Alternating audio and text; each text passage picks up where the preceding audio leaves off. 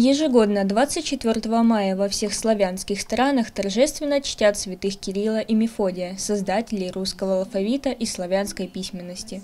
В честь этого праздника студенты и сотрудники Далевского университета приняли участие в написании диктанта по русскому языку.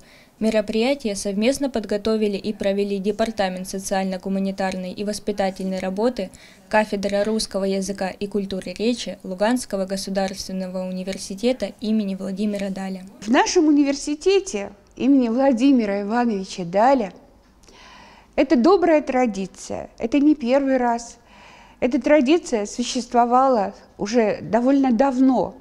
Именно в эти дни, 24, иногда 25 мая, мы проводим университетский диктант.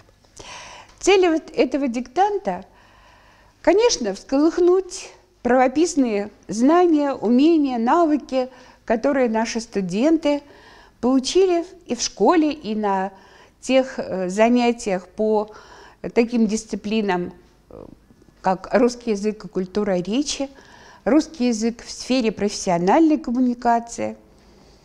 Но, наверное, самое главное, самая важная цель этого диктанта – просветительская цель. 39 участников диктанта «Душа без буквы мертва есть» узнали много интересного о первооснователях русской письменности, проверили личную грамотность и оценили их огромную роль в развитии русской книжности и литературы. Данное мероприятие, это был диктант, э, был довольно-таки интересный, познавательный. Он был приурочен э, славянской литературе, и он был довольно-таки интересный. Я ожидал, что он будет довольно-таки трудный, но никаких трудностей не, не было. Все было довольно-таки ну, просто.